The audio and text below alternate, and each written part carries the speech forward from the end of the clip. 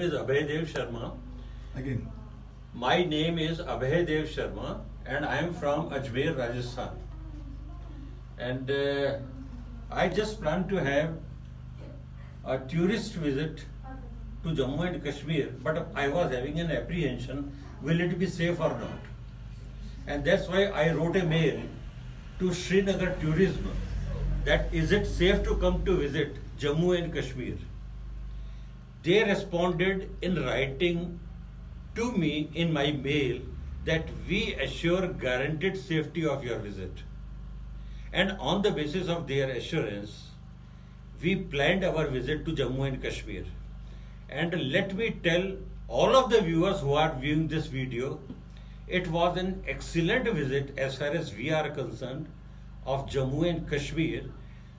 This tourist agency has given an excellent support.